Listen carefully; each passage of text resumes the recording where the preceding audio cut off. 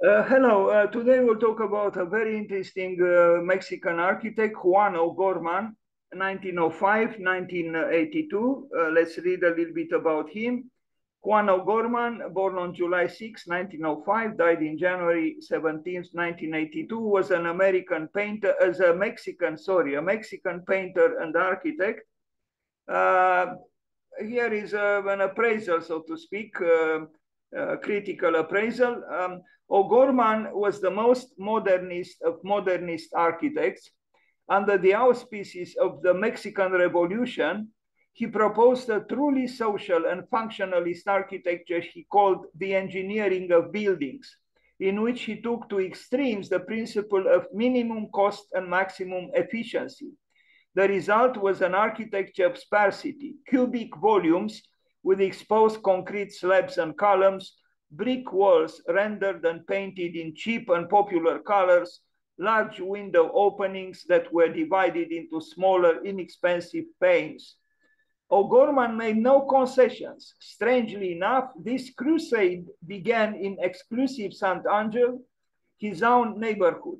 The client was his father, for whom, aged just 24, he built Mexico's first modernist house opposite a magnificent 17th century hacienda. hacienda.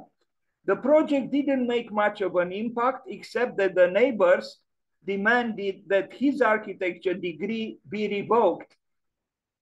Amusing. The house manifesto that followed was for his friends, uh, very important painters, Diego Rivera and Frida Kahlo, co conspirators in rebellion and figureheads of the Mexican cultural scene.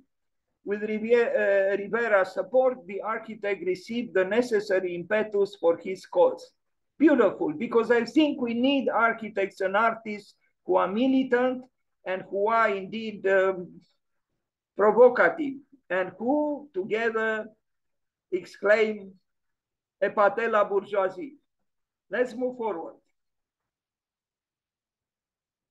This was the man in a self-portrait. He painted a lot. I don't include in this presentation paintings, but I should have, and I apologize. Juan O'Gorman, Ideology and Philosophy. Well, smoking a cigar like uh, many uh, so-called influential architects. Here he is, uh, I imagine with his wife, with uh, one of his two wives. Well, he didn't have two wives at the same time, of course. Now, San Angel, San Angel, I don't know if I pronounce well, I guess, houses, one for his father and then for Diego Rivera and uh, uh Frida Kahlo. In 1929, O'Gorman purchased a lot containing two tennis courts in Mexico City, San Angel Colonia. On the plot, O'Gorman constructed a small house and studio intended for use by his father, now known as the Cecil O'Gorman House. The building's forms were strongly influenced by the work of Le Corbusier, whose theories of architecture O'Gorman studied. O'Gorman dubbed the house the first functionally structure in Latin America. Diego Rivera, a contemporary of O'Gorman, impressed with the design of the Cecil O'Gorman house, commissioned the architect to design a home for him and Frida Kahlo on an adjacent plot. The house was built in a similar functionalist style from 1931 to 1932. So just, you know, two or three years after Villa Savoye by Le Corbusier was built. The Rivera Kahlo house was two houses connected by a bridge. Both houses were purchased to be restored and open to the public with the Rivera Kahlo house operating as a museum. Now we begin with the house he built for his father, the Cecil O'Gorman house, and I understood he was 24 when he built it. And it's a fine modernist house and different from the modernism of Europe, maybe because of the climate, of the specific nature, um, you know, plants, uh, trees of, uh, of, uh, of Mexico. A very fine building uh, and um, perhaps some kind of a comparison could be made between O'Gorman and uh, you know, certain uh, European uh, modernists. O'Gorman was not afraid of color, quite the opposite. He employed color uh, you know, abundantly beyond the fact that he also painted. Um, but the inspiration coming from Le Corbusier is obvious. Uh, maybe not so much in this work, in, uh, in, in, the works he built for Frida Kahlo and uh, um, Diego Rivera. So this is the house he built for his father, Cecil O'Gorman. And you see on the right, the blue buildings are those built for Frida Kahlo and uh, uh, Diego Rivera.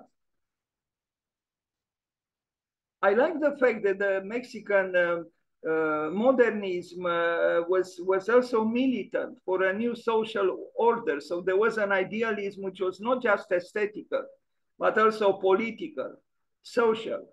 And uh, I think architects should become militant as well.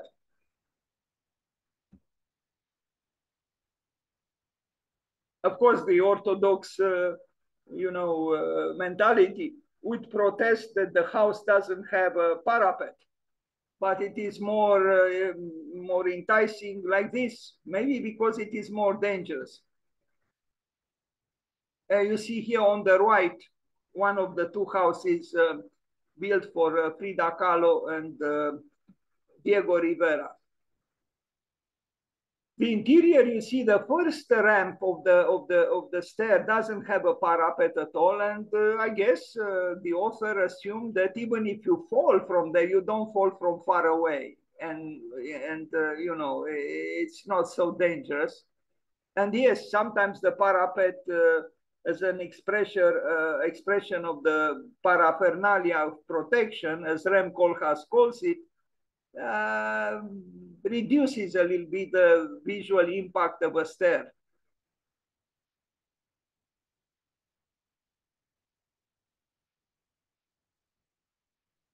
So this is the house built for his father when he was very young, uh, like 24. And later on, a few years later, he built for Frida Kahlo and uh, Diego Rivera, and we are going to see the, the interesting also these fans done with, I cannot say built, made or done with the cactuses.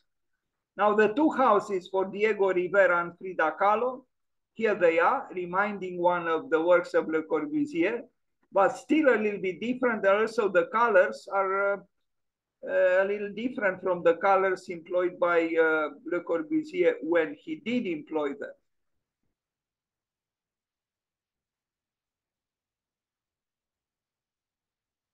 Not bad.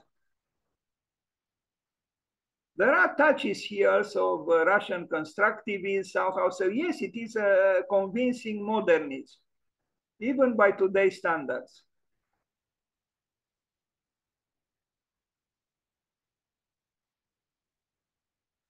So these two buildings united by a bridge at the top, you can see it behind the, the foliage of the tree, uh, were, done, were built for Diego Rivera and Frida Kahlo. Very important seminal figures of Mexican culture and world culture, in fact.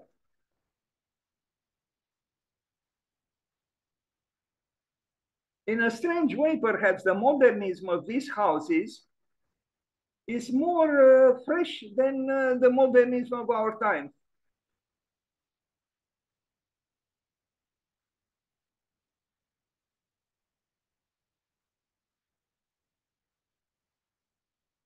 Juan O'Gorman.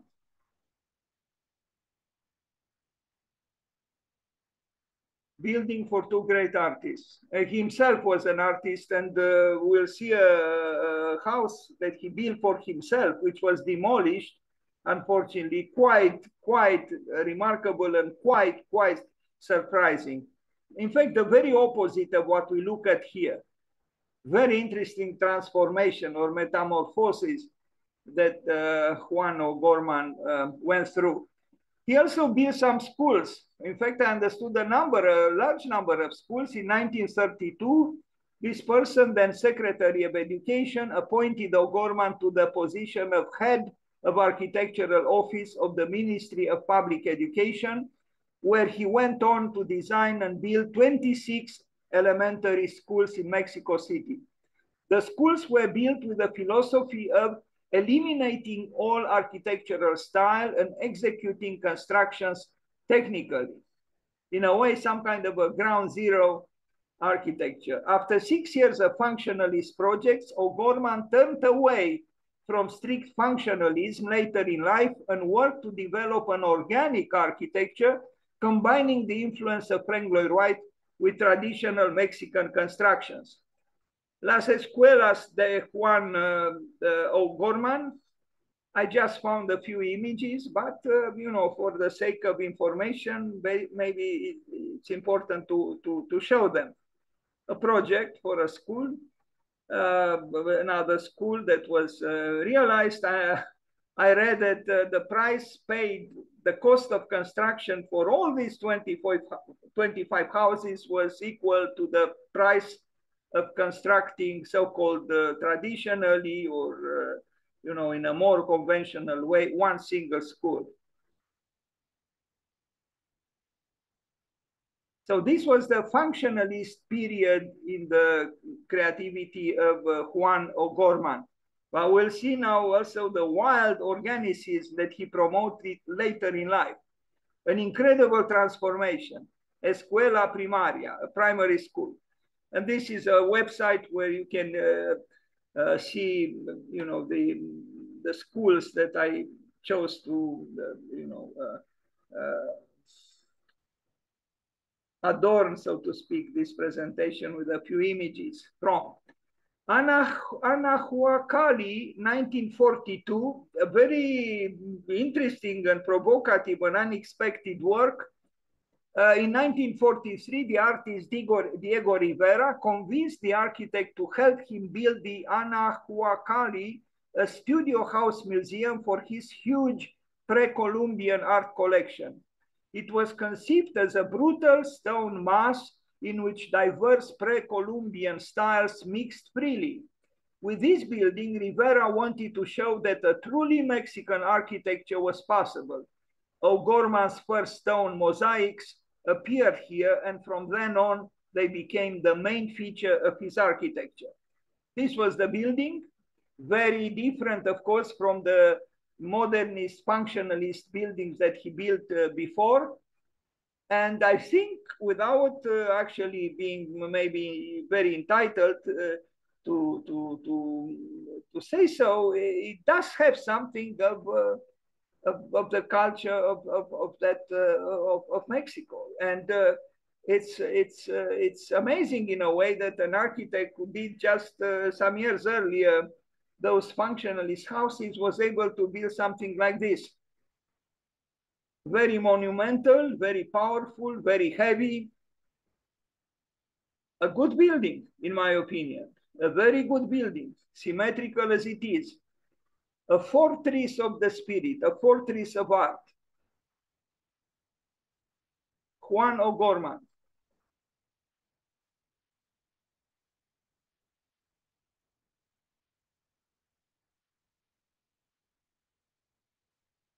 Okay, so now we arrive at the last work I show today, a very important work, the Central Library at Ciudad Universitaria, Juan O'Gorman's most celebrated work due to its creativity, construction technique and dimensions, are the 4,000 square meters murals covering the four faces of the building of the Central Library at Ciudad Universitaria. These murals are mosaics made from millions of colored stones that he gathered all around Mexico in order to be able to obtain the different colors he needed. The north side pictures Mexico's pre-Hispanic past and the south facade is colonial one, while the east wall depicts the contemporary world and the west shows the university and contemporary Mexico. From the beginning, I had the idea of making mosaics of colored stones in the walls of the collections with a technique in which I was already well experienced, he said, Juan O'Gorman. With these mosaics, the library would be different from the other buildings of Ciudad Universitaria, and it would be given a particular Mexican character. Um, I will uh, come back to, to it with many images, but now I just complete a short biographical note. In the later work, O'Gorman built and designed his own house in the suburb of Pedregal, which was part built structure, part natural cave, which is known as the Cave House from 1953 to 1956. It was decorated with mosaics throughout. It was demolished in 1969. Terrible. His paintings often treated Mexican history, landscape and legends. A mural commission uh, resulted in the huge La Historia de Michoacán in the Biblioteca. Anyway, he painted the murals in the Independence Room in Mexico City's Chapultepec Castle and the huge murals in his, uh, on, of his own uh, central library, which we are going to see later. In 1959, together with fellow artists, and here are the names. O'Gorman founded the militant union, uh, Union, Union de Pinos, Pintos, Pintoresi y Grabadores de Mexico, Mexican Painters and Engravers Union. So again, he was he was a militant spirit, very very very much engaged with the with the city he was living in, with the country he was part of. Now, the O'Gorman house from 1954, be, be uh, please expect to see the unexpected. Architect Juan O'Gorman, uh, this was the architect, and you see the house behind him. Incredible transformation, really. Uh, it was published in Hidden Architecture, and this is a text by this uh, uh, person. Actually, I don't know if I should read it. Yes, let me read it. Juan O'Gorman, Mexican architect, began, began his professional career with Le Corbusier and his Towards an Architecture, or more specifically, his very particular reading of the revolutionary text. This way, he builds the first functionalist house in Mexico, we saw it, followed by a series of schools characterized by nudity and frugality, unparalleled even in the same Le Corbusier-like proposals. Subsequently, and thanks to his relations with the National Revolutionary Intelligentsia, he put into practice his functionalist, functionalist proposal in the construction of some private houses, among which are those made for the painters Diego Rivera and Frida Kahlo in 1932. We saw them. However, after this functionalist effervescence of the 30s, O'Gorman completely disconnects from the architectural discipline to devote himself to his passion for mural painting. In the late 1940s, he began to explore new techniques in mural painting by introducing the use of polychrome mosaics made with stones extracted from different regions of the country. And I'll show now images from this formidable house, which was demolished. Unbelievable unbelievable because this is the dogma in the heads of people. You know, if, if, they don't understand something and if something is in contradiction with their expectations, they demolish it. Even though he was a famous figure of the, of the, the, intellectual and cultural uh, uh, uh, ambiance of, of, of his time and place. But look at the house, you know, it's, it's a house which has absolutely nothing to do with the functionalist houses that he built uh, earlier. It's, uh, it's a house that uh, maybe Monsieur Cheval might have uh, built uh, if he lived in Mexico or maybe even in, in, in France. Um, it's a house that maybe Carl Jung would have admired. It's a house that explored the unconscious, the unconscious cave or the cave of the unconscious uh, it's a funambulesque uh, architectural statement made by this very complex and uh, uh, contradictory, um, if I am to call him so, architect and artist.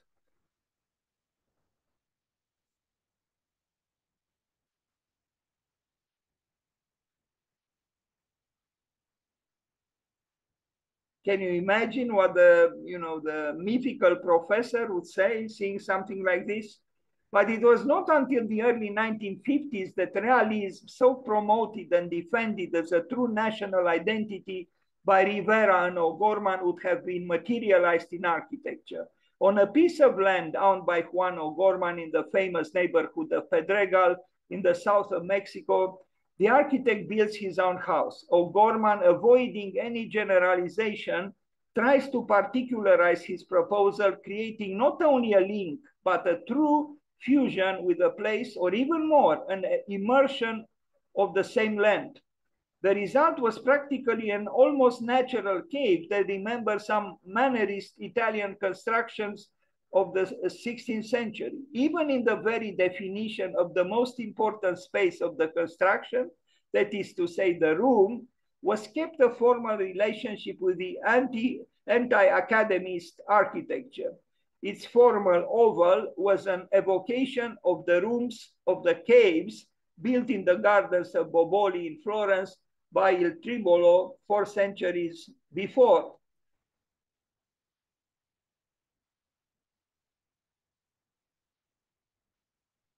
Bravo to him. But we cannot say bravo to those who demolished it. That's Frida Kahlo there in the in the in the chair. A great painter.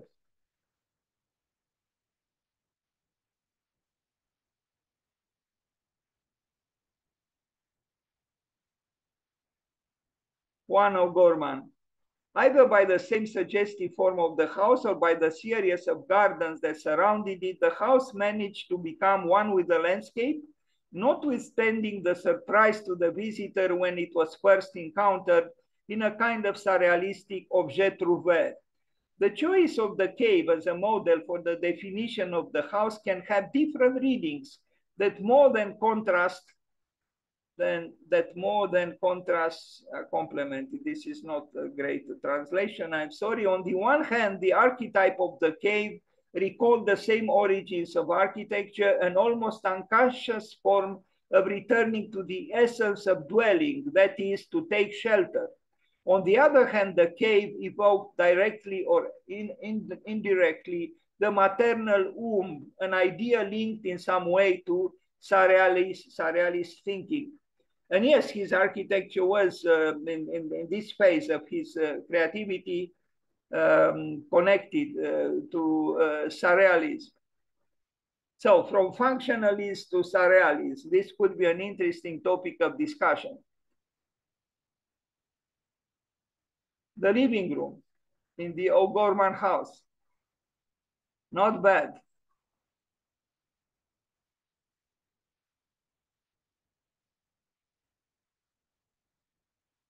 Nature and culture together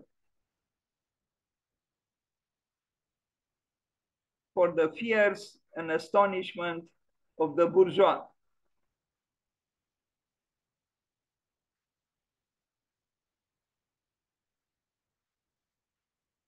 Was he depressed?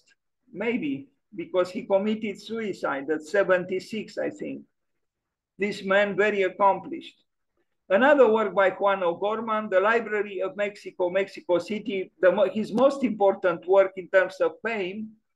Here it is. And I think it's remarkable the way he combined, uh, you know, an almost international style architecture to this uh, splendid uh, Mexicanness, you know, based on the on the murals that he created the, those who combat, who, who oppose the presence of fine art in architecture should see in this example that when married, they could be very convincing. When when married, uh, when married, uh, uh, you know, uh, skillfully as he achieved. He was the architect together with two other architects, but he created the most interesting part of the, this library, the uh, full decoration of the four facades of the tall part of the building. I think it's a very powerful building and uh, I think we should reconsider uh, allegory, emblems, myth, color, decoration, ornament, uh, because I think uh, modern architecture in its uh, orthodox mode um, lived, its lived its life. We see here the sun and the moon, don't we? You know, and uh, there is there is so much richness on this blank wall, which if it was just blank, would have had no interest at all. Bravo to O'Gorman, Juan O'Gorman. It's a unique building. And these are mosaics.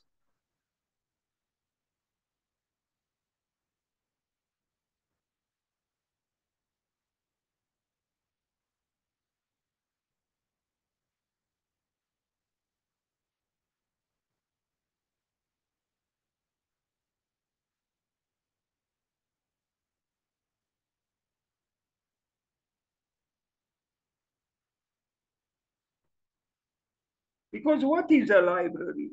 Well, it's where you gain knowledge and the, the facades of the building uh, express the wholeness of knowledge, which is not static, it's dynamic, it's continuously in the process of, process of becoming.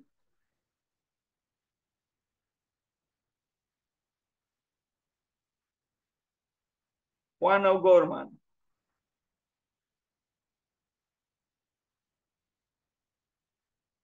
Thank you.